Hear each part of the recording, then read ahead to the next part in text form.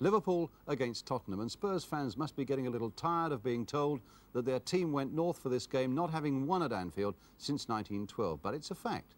It was also a welcome fact for Liverpool supporters today that Terry McDermott, the England midfield player, has agreed to sign a new contract tying him to Liverpool for the next two years. Commentator Gerald Sinstadt. It's an unchanged Liverpool team that Terry McDermott plays in here. The only serious doubt was defender Colin Irwin, who broke his nose on Tuesday night in the League Cup tie against Birmingham, but he's had it reset and makes his seventh appearance of the season. Tottenham, they make one change from the lineup that played in the League Cup on Tuesday when they were beaten by West Ham. Terry Yorath broke a finger in training yesterday, and that lets in Graham Roberts, who was signed from Southern League club Weymouth. His four previous appearances were all as a substitute. Steve Archibald on the left there and Garth Crooks are the players Spurs will be looking to to spearhead their bid to improve their dismal record at Anfield. Together these two have scored 23 goals this season, 12 to Archibald, 11 to Crooks. David Johnson kicks off for Liverpool in their all-red strip, no clash of colours first touch for Barry Daines.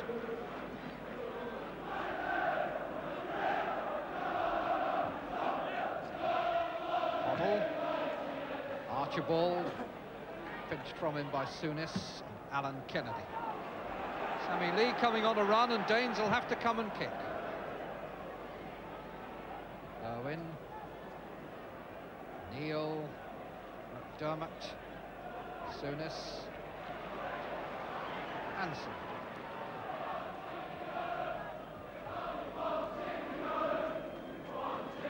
Today's referee, Mr. Alan Seville from Birmingham.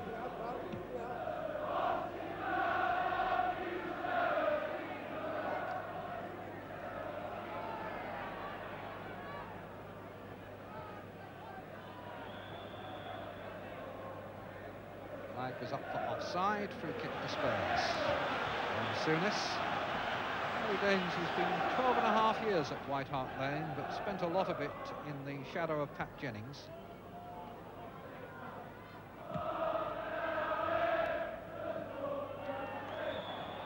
Irwin couldn't get away with that.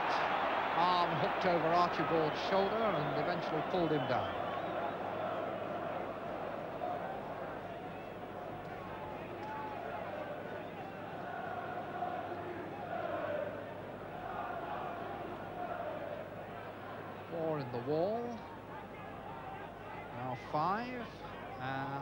Danger here is that Glenn Hoddle might curl one over the top and drop it in the corner. It's something he does with marvellous precision. And in fact, it was Villa, and he very nearly pulled it off. Problems for goalkeepers when a team has as many dead ball specialists as Spurs have. Villa curling that one with the left foot. Clemence was across, but it was a good effort.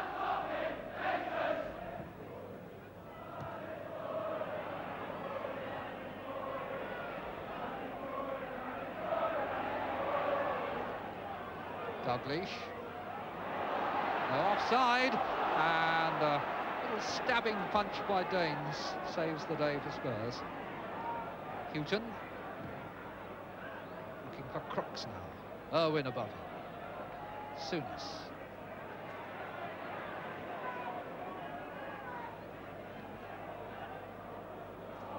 Irwin to Hansen. Hansen setting off on a run. Phil Neal covering for him in the middle. Ball comes loose to Alan Kennedy. Now Johnson. McDermott back to Johnson. Johnson's shot in. 1-0.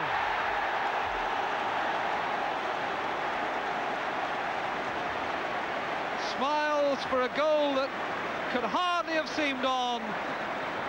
Ball comes out here to Alan Kennedy. There's some fine, sharp passing goes on here.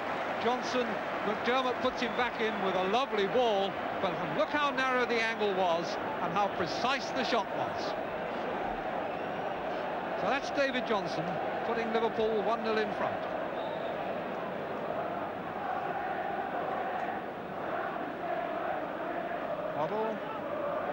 Roberts, memory of this long, long run without success at Anfield begins to haunt Spurs again. David Johnson having scored his 10th goal of the season.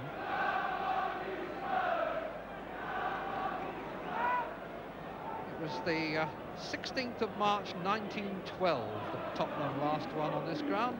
Since then they've had 22 defeats here and 15 draws.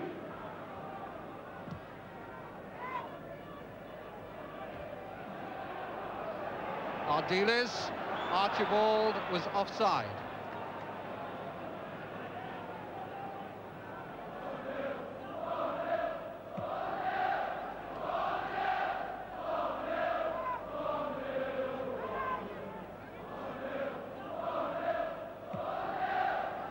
Defence moving out again, but Hughton had stayed back.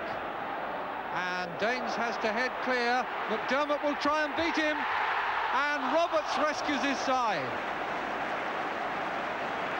There was the offside trap failing to work because one man stayed back and created problems of all kinds for the goalkeeper. Daines forced to head out.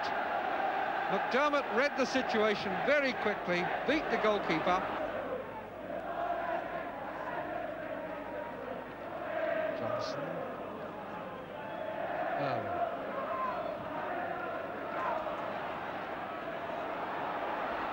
Johnson's header, Dalglish, Ray Kennedy in the middle with McDermott. Hoddle getting it out to Roberts.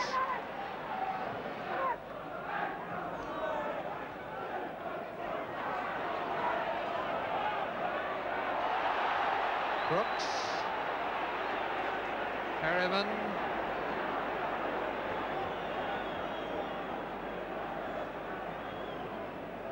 Ardiles. Foul Souness on Ardiles. Referee's upraised arm indicates obstruction. Direct free kick.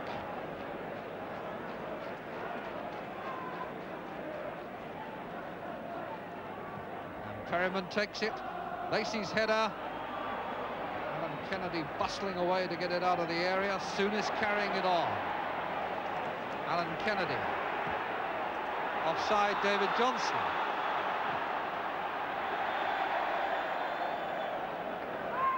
Johnson just went on and planted it in the net to show what he thought of the tactics.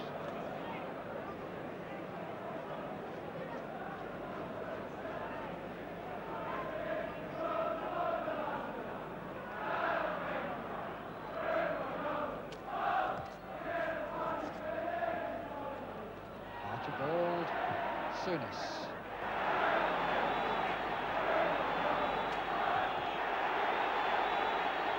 Hoddle. It's come right through to Archibald. And it just went outside, or did it go in? It's gone in. I thought it had gone outside the post, but Archibald has equalised. Long one in, missed by Irwin. A lot of space here for Archibald, and it was deflected inside the post, one all. Steve Archibald, the scorer, though there was a deflection.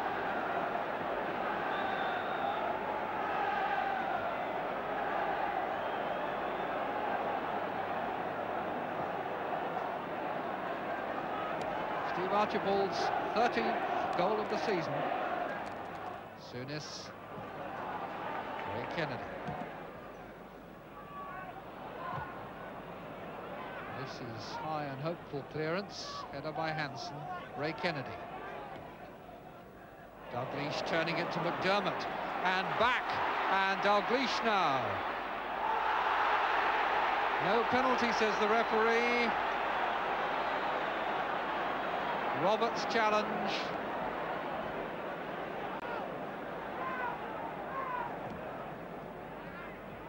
Hansen.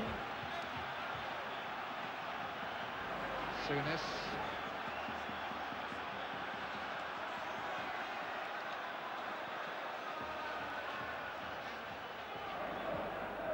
Neal to Lee.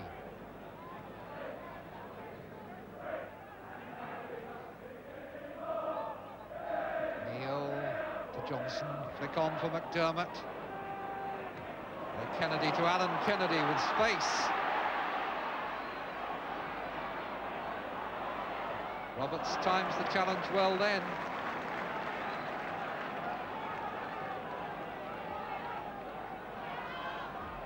Dalglish in there and Lee to take the corner this time. Dalglish up. Daines only caught it at the second attempt, but he has it safely now.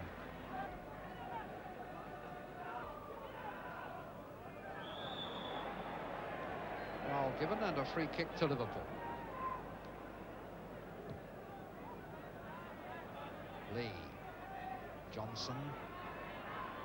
Lacey the defender. Lee. Neal. Hansen. Forced to go a long way to collect. Alan Kennedy. Stopped by Hoddle. Hansen stopped by Archibald. And the rebound has fallen well for Archibald. Crook streaking through the middle, taking the pass but couldn't control it and would have liked it played just a little bit more firmly. Archibald making the most of a rebound after he'd come to close the player down. That's where he got the rebound and was quick to react to it. Coming in now with Crooks just out of that picture, streaking through, and the pass really needed to be a little bit harder. Always thought of as one of the best psychological moments for a goal just before half-time. Initiative at the moment with Liverpool as Hansen strides forward. Perryman charged down the shot, and there is the half-time whistle, and Tottenham will feel they've done well to be holding Liverpool here to one all. Liverpool attacked the Kop goal in the second half. That's Roberts playing a long one towards Archibald. Tottenham beaten in their last three games, away to Birmingham and at home to West Brom in the league, and then away to West Ham in the League Cup.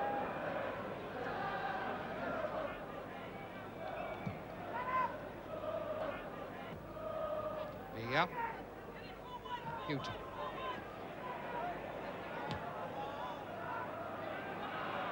Clemence calling and collecting. Lacey against Johnson. Ball comes out to Lee. Lacey getting his head in the way of another one. Souness. Hoddle beating Alan Kennedy, but couldn't keep the ball in play.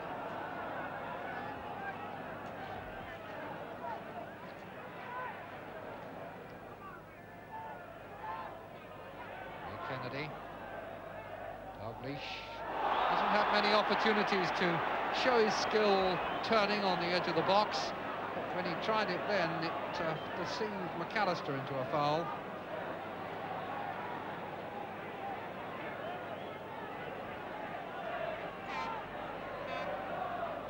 Daines, no doubt, a little bit concerned about the possibility of Irwin or Neal coming in on a late run from the far side. Souness to Lee, who can drive them from there, and the goalkeeper couldn't hold it, but he could do enough to put Irwin off scoring. Tremendous whack there from Sammy Lee. Little man does pack a punch. Dane saw it coming, couldn't hold it.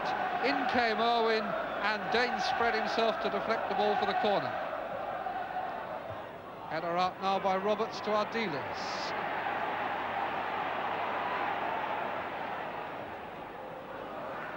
Won't make it.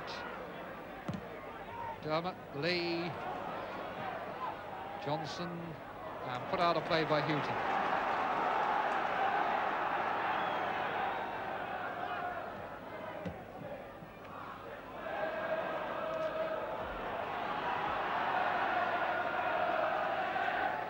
Johnson back to Lee.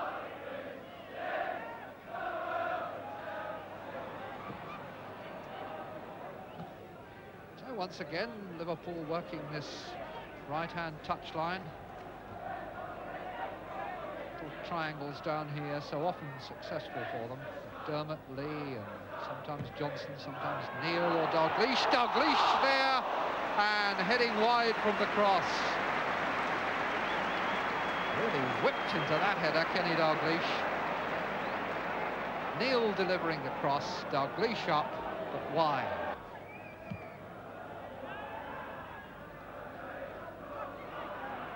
Archibald. Hoddle beaten by Alan Kennedy. And here's Johnson in. Just nicked away from him by Roberts, and it's a corner.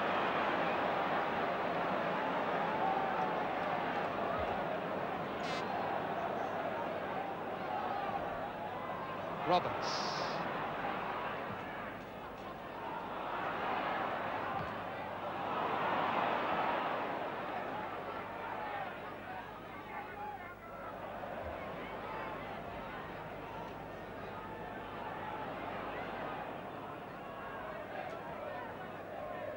Souness.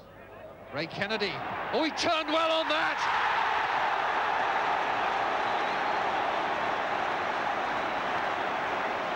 Fourteen minutes into the second half, and the big man turned with all the agility you could possibly wish for.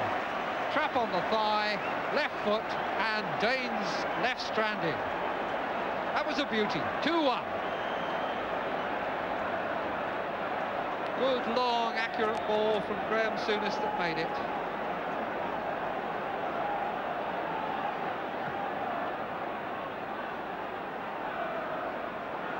Kennedy, who has a special feeling about Spurs from his Arsenal days, they're getting his sixth goal this season, that is.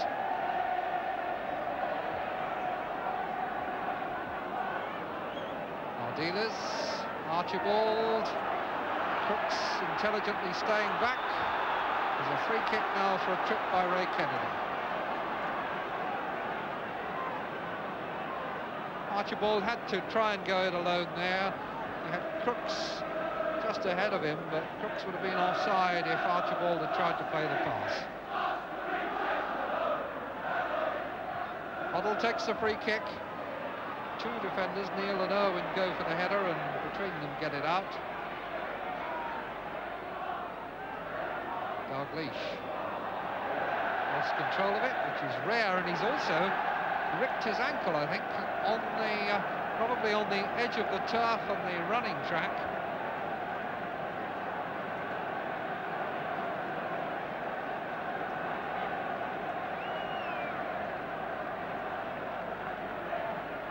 Well, a moment that came out of no danger at all. His control just for the moment let him down, and trying to keep the ball in seems to have fallen awkwardly. Souness with Archibald coming.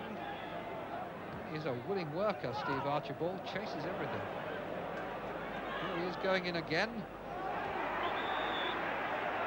A loose boot there that Mr Seville didn't like.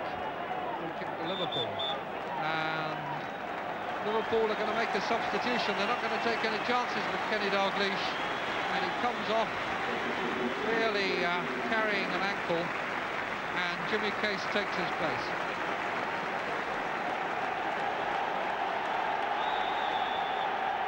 Good welcome to Jimmy Case from the Kop. And Daines comes for a punch. Lee, Case couldn't get into it. Veer, tripped by Neal.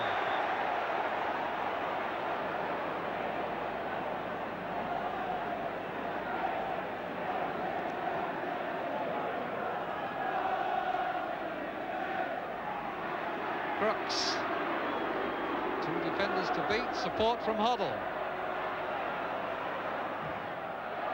Good covering by Alan Kennedy. Ray Kennedy brings the ball away.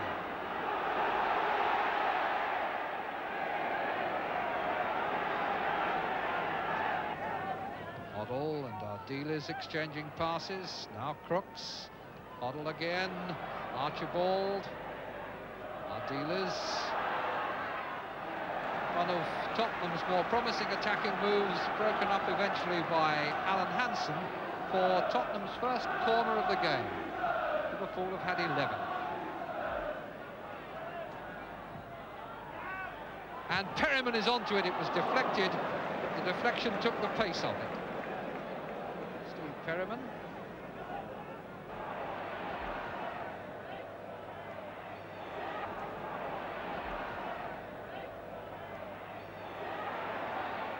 And goes on to try to make something for Case, but Lacey clears it, and Souness is left on the edge of the penalty area, clutching his head. And now offside against Case again.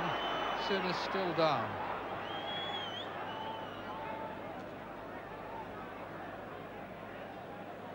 This free kick, incidentally, the 20th for offside in the game.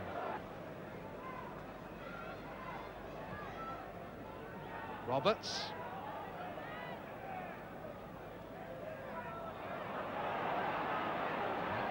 Case chasing it down the line. Nicely weighted pass from Souness.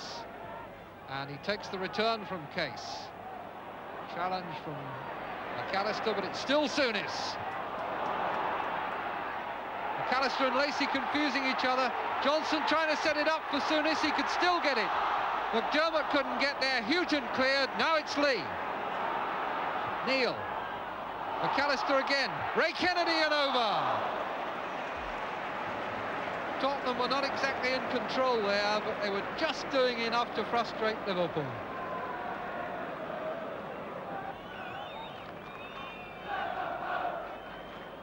Second half hasn't been as good as the first, but uh, really there's not ever looked much danger of Liverpool losing this game. Certainly not after the hour when Ray Kennedy scored.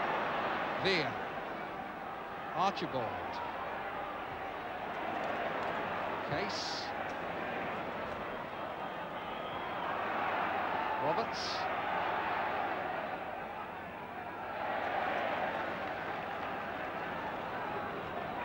Referee taking a check from his linesman. Ardiles. And there is the final whistle. Tottenham's long, long record of lack of success at Anfield goes on thanks to a decisive second half goal scored by Ray Kennedy. Liverpool 2, Tottenham Hotspur 1. Indeed, sadly, that must be a familiar feeling for Spurs coming away from Anfield with nothing to show for their efforts. 68 years since they won there. The Spurs captain, Steve Perryman. What were the tactics this time? Uh, we decided to, instead of playing two up front and four in midfield, our two outside midfield players, Ricky and uh, Glenn, we decided to push them up further onto the fullbacks.